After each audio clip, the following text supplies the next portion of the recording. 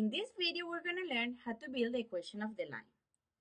We're going to cover these topics. We're going to build the equation with the slope-intercept form, and then we're going to do examples with parallel and perpendicular lines. Let's go ahead and start. First, we need to understand the components of the line.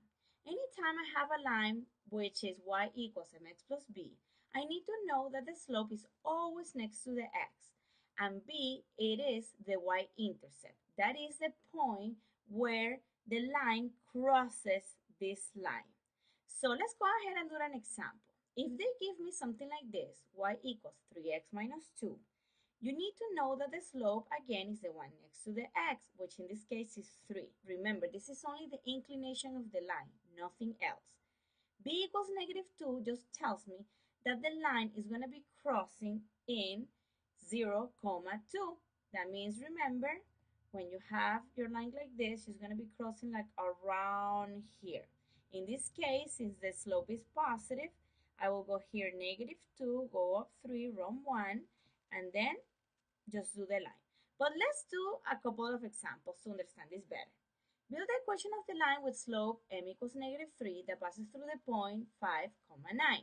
Let's see what we have. Well, here we have the slope, which is equals to negative 3. We also have one value for x and one value for y.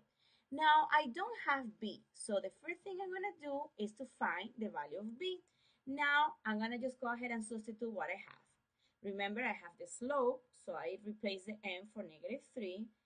x is equals to 5, y is equals to 9, and bingo. Now I can figure it out who is b. So let's do it. I know that negative 3 times 5 is negative 15. Now I pass the 15 to the other side. It was negative, it goes positive. Finally, my b is equals to 24. Now we're just going to do the last step. Since I already have the slope and I already have my y-intercept, remember, y equals mx plus b, I just go ahead and set it up. Remember, my slope was negative 3, so I just put negative 3x plus 24. Sometimes other books or other teachers or professors teach this in another way with the y2 minus y1 equals m times x minus x2.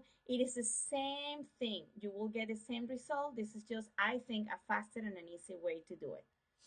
Let's do another problem. Build the equation of the line parallel to the line y equals 4x minus 2 that passes through the point 3 comma negative 1. Now remember, here they're not giving me the slope, but they're telling me that the line is parallel to this one. I can care less about the y-intercept of the line. The only thing I need anytime I do these problems is one point and the slope. Well, remember, when you have parallel lines, they always have the same slope. Therefore, here, the only thing I need is just the slope, which is m equals 4.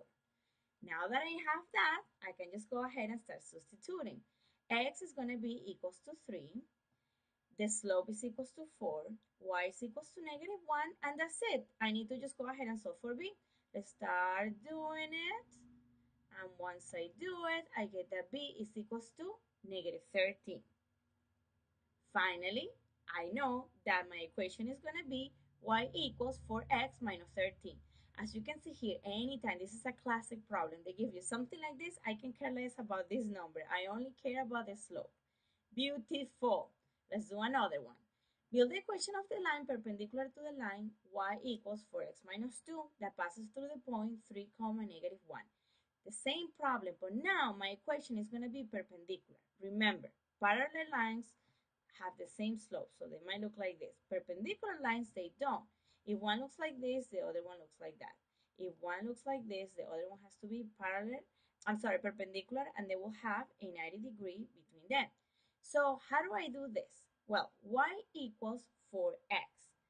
Anytime they tell me that the slope is perpendicular, remember, this slope is equals to 4. Therefore, I need the negative reciprocal.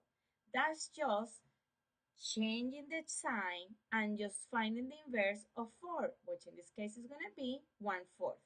So let's practice. If they tell me the slope is 3, the perpendicular is going to be negative 1 over 3. If they tell me that the slope is 2 over 3, the perpendicular is going to be negative 3 over 2. So basically, you always have to change the sign and just find the inverse of the number. Beautiful. Now that I have that, I can go ahead and just substitute. Remember, my slope was negative 1 over 4. So now that I have that, I put y equals negative 1. For the slope, I put negative 1 over 4. For the value of x is 3. And now I just need to find b. Once I solve for b, I just pass the 3 fourths to the other side. Finally, I get this. And my final equation is going to be y equals negative 1 over 4x plus 1 fourth. Perfect. I hope you learn a lot. And again,